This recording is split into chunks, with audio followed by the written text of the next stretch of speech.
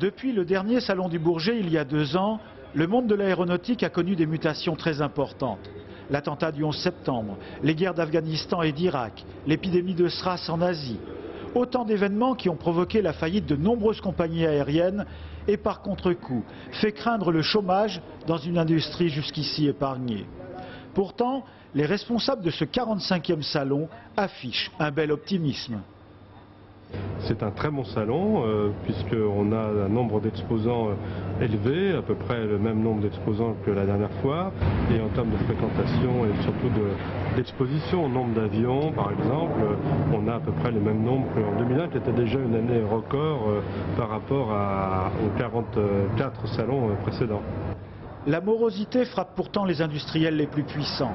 Il y a deux ans, Boeing présentait le Sonic Cruiser, un projet ambitieux d'avion quasiment supersonique. Cette année, le Sonic Cruiser est passé aux oubliettes, remplacé par un projet plus modeste, le 7E7, un biréacteur plus réaliste, plus économique aussi, censé contrer l'incroyable percée du programme européen d'Airbus 380 l'avion géant de 650 places, que les compagnies aériennes continuent à commander malgré la crise et avant même son premier vol.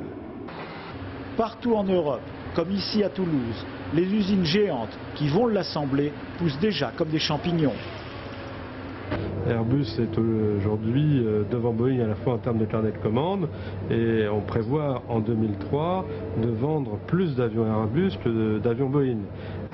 Autre signe révélateur d'une époque perturbée, une société israélienne présente sur cet appareil différents systèmes destinés à protéger les avions civils contre les attaques de missiles terroristes, comme ce fut le cas récemment au Kenya.